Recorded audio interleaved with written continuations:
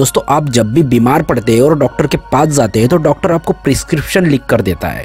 उसे पढ़ने में आपको 90 परसेंट टाइम्स ज़रूर तकलीफ़ होती होगी। प्रिस्क्रिप्शन को देखकर क्या आपके मन में कभी यह सवाल उठा है कि आखिर सभी डॉक्टर्स की हैंडराइटिंग इतनी खराब क्यों होती है? आखिर डॉक्टर्स के पर्चे पर लिखी गई बातें पढ़ना इतना मुश्किल क्यों होता है? आइए आज हम इसी के बारे में बात करते हैं। तो बिल्कुल बने रहिए मेरे साथ इस वीडियो में पूरे एंड तक और वीडियो को बिल्कुल भी स्किप न करें। नए व्यूवर, चैनल को सब्सक्राइब तो कर लो और बाजू में दी घंटी को दबाकर ऑल सिलेक्ट कर लेना। और हाँ वीडियो के नीचे के लाइक बटन को ज़रूर प्रेस कर लेना। दोस्तों, एक सर्वे के अनुसार दुनिया में लगभग सात हज़ार लोगों की मौत इसी वजह से हो जाती है कि वो समझ ही नहीं पाते कि डॉक्टर्स ने उन्हें लिख कर क्या दिया है। इस बात का भी खुलासा हो चुका है कि कई बार मेडिकल शॉप वाले भी डॉक्टर की लिखावट समझ नहीं पाते हैं और गलत दवाएँ दे देते हैं। साथ ही दवा कब और कितनी बार लेनी है, ये भी जिस स्टाइल में लिखा जाता है, उसे बहुत ही कम लोग समझ पाते हैं। दोस्तों, आरुषि शर्मा नाम की एक महिला डॉक्टर ने इसका जवाब दिया है।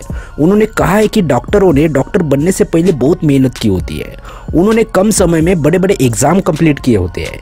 इसी कारण समय बचाने के चक्कर में वो हमेशा बहुत ही तेज़ी से लिखते रहते हैं। यही वजह है कि ज़्यादातर डॉक्टर्स की हैंडराइटिंग इतनी बुरी हो जाती है कि लोगों को वो हैंडराइटिंग समझ पाना एक टेढ़ी खीर हो जाता है।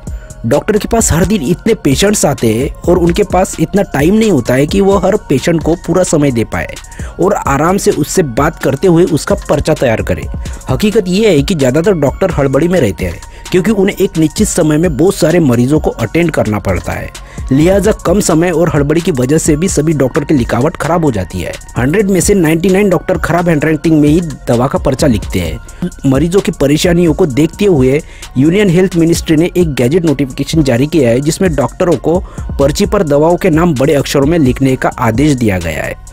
दोस्तों इंटर्न यानी जो नए डॉक्टर्स होते हैं, उनकी हैंडराइटिंग अच्छी होती है। लेकिन जब उनके ऊपर काम का लोड बढ़ता है तो वे भी डॉक्टरों की तरह घसीटते हुए लिखने लगते हैं।